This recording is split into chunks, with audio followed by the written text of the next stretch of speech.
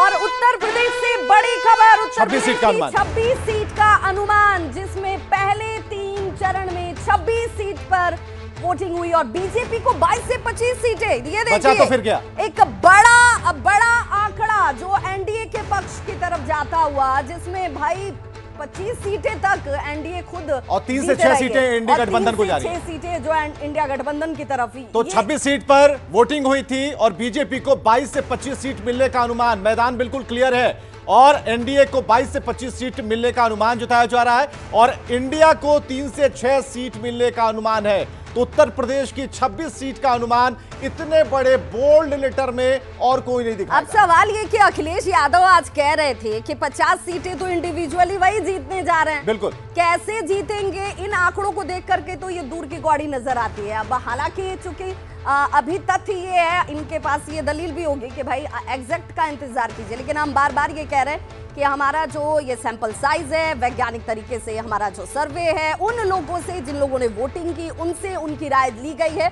और बड़े प्रमाणिक तरीके से आंकड़ों को हम दिखा रहे हैं। उनमें ये उत्तर प्रदेश की बात कर लें उत्तर प्रदेश की 80 लोकसभा सीटों की अगर हम बात करें तो उनमें पहले तीन चरण में 26 सीट पर वोटिंग हुई थी और उस 26 सीट में 25 सीटें जो हैं वो एनडीए के पास जाती हुई 22 से 25 सीटें जो हैं वो दिखाई जा रही हैं। बीजेपी इंडिविजुअली 22 से 25 मतलब यहाँ पर वो अकेले ही चुनावी मैदान में, और इसीलिए उनके पास कुल सीटें जो हैं वो 25 की जा रही हैं 26 सीटें। हालाँकि तीन से छः सीटें जो हैं वो इंडिया गठबंधन के पास दिखाई जा रही हैं कि ये तीन से छः सीटें इनके पास जा सकती हैं।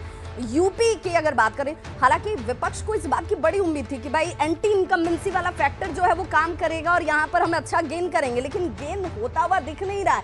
क्यों नहीं हो पा रहा है? उस पर भी जवाब लेंगे क्योंकि हमारे साथ एक बड़ा गेस्ट पैनल भी जुड़ा हुआ है और जानने और समझने की कोशिश भी होगी। साउथ में जहाँ पर शून्य था वहाँ से अब बीजेपी अगर आगे बढ़ रही है तो अब देखिए हमारे साथ गेस्ट पैनलिस्ट भी बीजेपी गदगद है विभा। बीजेपी गदगद है। इन आंकड़ों को देखकर तो खुश हाँ, और बिल्कुल हमारे साथ इस वक्त अजय निषाद जी जुड़े हुए हैं। और सबसे पहले आपसे ही जुड़ लूँ आपका स्वागत क्योंकि आप इस वक्त हमारे साथ जुड़ रहे हैं। आपने देख लिया होगा कि भाई सब कुछ बल्ले बल्ले है सब कुछ ठीक ठीक है अच्छा अच्छा है। तो हमने दिखाई दिया। बिल्कुल। अब अब आपके लिए आसान हो जाएगा प्रतिक्रिया देना। इन आंकड़ों को देखकर आपकी पहली प्रतिक्रिया। देखिए ये तो आपके लिए और दर्शकों के लिए आज बताया जा रहा है हम लोग तो पहले से ही मान करके चल रहे थे कि पिछली बार उनचालीस सीट हम लोगों ने जीता था। उस एक सीट की जो कसर रह गई थी इस बार के लोकसभा चुनाव में हम लोग 40 की 40 सीट जीतने में कामयाब होंगे। जैसा कि इस बार किशनगंज से जो हमारे प्रत्याशी थे उनके हेलो। उन, उनके प्रचार के लिए जो हमारे दल से जो लोग गए थे एनडीए से जो लोग गए थे स्वयं हम लोगों ने एक एक जगह पर फीडबैक लिया। उस फीडबैक के आधार पर मैं आपको स्पष्ट बताना चाहता हूँ कि इस बार हम लोग किशनगंज की भी सीट जीत रहे हैं।